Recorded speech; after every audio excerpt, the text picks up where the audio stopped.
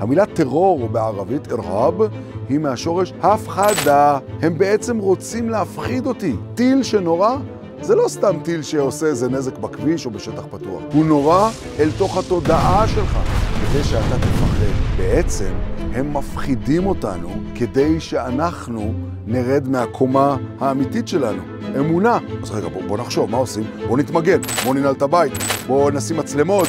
זה בדיוק מה שקרה לנו בשמחת תורה. שאלו אותי החברים בערוץ, איפה היה האלוהים שלך בשמחת תורה? הוא גם היה שם.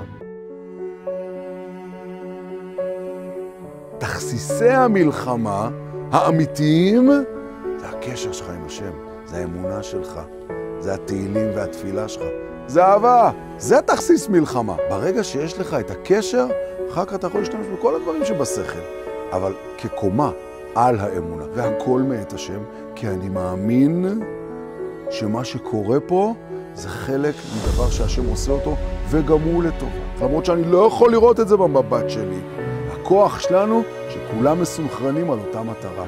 אני רואה את זה. עם ישראל חוזר בתשובה. לא כיפה זקן, אמונה, אחדות, אהבה.